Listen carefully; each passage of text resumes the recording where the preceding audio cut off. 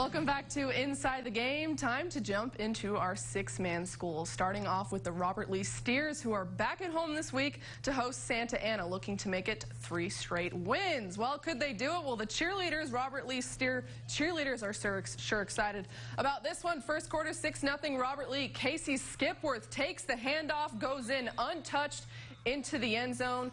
That would make it 12 to nothing Robert Lee. And you know what? The Steers keep rolling. Manny Gamboa finds Daniel Mendoza, throws a little lob to him. He takes that up the left side of the sideline, goes in untouched for another touchdown. That'll make it 20 to nothing. Steers, and how about some Robert Lee defense? Bubba Bohannon picks off the pass. Spoiler alert, picks that off. All right, Robert Lee, they're in business. They were in business tonight as they go on to win this one over Santa Anna 60 to nothing.